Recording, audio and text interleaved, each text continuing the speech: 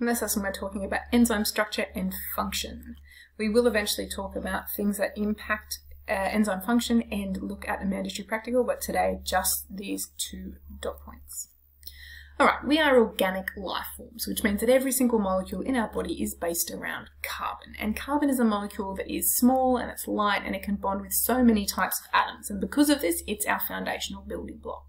Now, our bodies are made, you know, based on organic macromolecules, and they're large and they're extremely complex. And they are made of smaller little subunits which repeat over and over again to build large macromolecules. Now, all of the macromolecules uh, play really unique roles within the body, and we've spoken about some of these in the context of our cell membrane structure, but we're talking carbohydrates, lipids, proteins, and nucleic acids, and you can have a read of amine. Right, now these complex large macromolecules are made up of those small repeating molecular units. So think of it like a huge string of beads on a necklace. The small monomers are the individual beads. And while we use this analogy, don't forget that we're still actually talking about a smaller molecule made of atoms, okay? And that's what that monomer would actually be.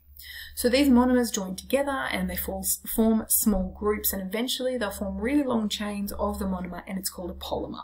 And once these polymers have all, all the components that they need, they twist and they turn and they bend and they form these big, highly complicated and kind of ugly looking macromolecules. Each of the types of macromolecules are structured from monomers, right, and they join to form polymers, but they all have a unique monomer molecule. And the first type of macromolecule we'll talk about are carbohydrates. Now, carbohydrates are a type of energy store and they're used for cell-to-cell -cell recognition and in structural components of DNA and RNA as well. They're made up of only carbons, hydrogens, and oxygens, okay? Their monomers are known as monosaccharides, right? We can see that as part of the word to help us out there. They join together in twos to form disaccharides and eventually they form really long polymers called polysaccharides. Now these simple sugars like the glucose and the fructose and then even to the disaccharides like the sucrose and the lactose, um, you know, they're the simple ones versus the more complex ones we see over here um, in that they're often stored in the body for later use, that glycogen is. And starches are found in foods, and they're examples of those polysaccharides, those long complex chains. The more complex the carbohydrate, the slower they are to be broken down in the body. Hence, these foods often have that low GI or glycemic index. Butter is not a carb.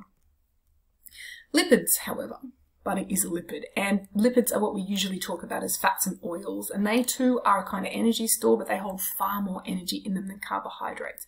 We also know that they're the major component in our cell membrane and every single membrane that wraps around our organelles as well.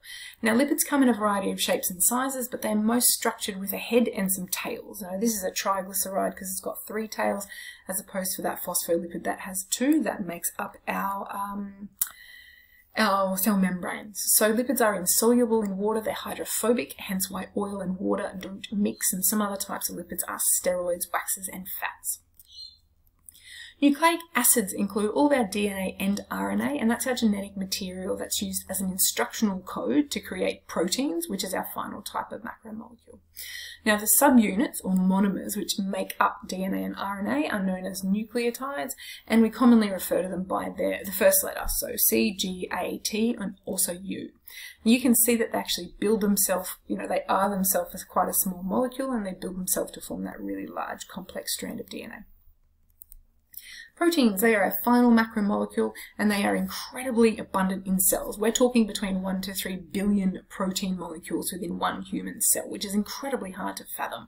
Now, we've already seen that proteins are vital for cell membrane transport and structure, but they're also used in cell signaling as enzymes, as hormones, and as ribosomes in cells, which actually helps to build more proteins. Their monomers are amino acids, so amino acids bond together to form um, a peptide, which elongates to form a polypeptide, aka protein. Um, and once the polypeptide is formed, they'll actually bend and twist in a very specific way to allow them to perform their role. Some will combine with other polypeptide chains and fold around each other. But our main goal today is actually to discuss one type of protein, which is enzymes. Okay, and enzymes are proteins, and they are globular proteins. They are folded and twisted and often have those extra change.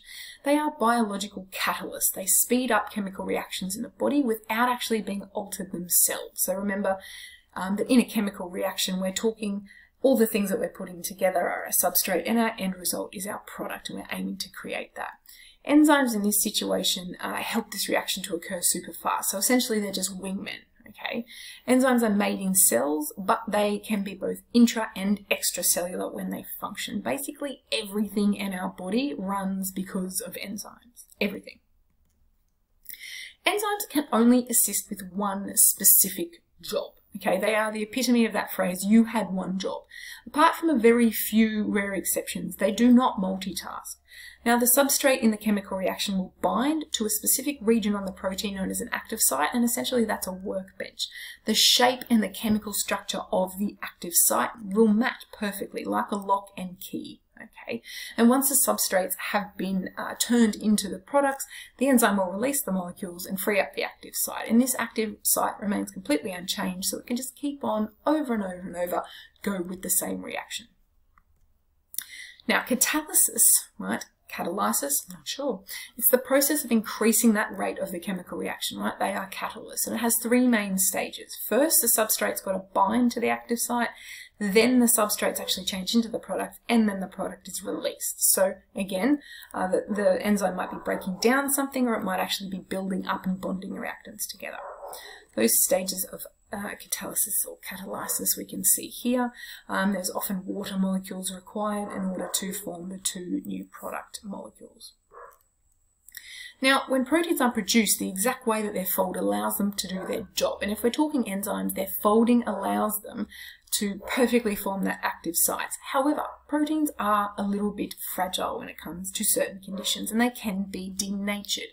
If it's too hot, for example, the protein will unravel, unfold and change shape, meaning that the active site is no longer a perfect fit for those, uh, you know, substrates to bind.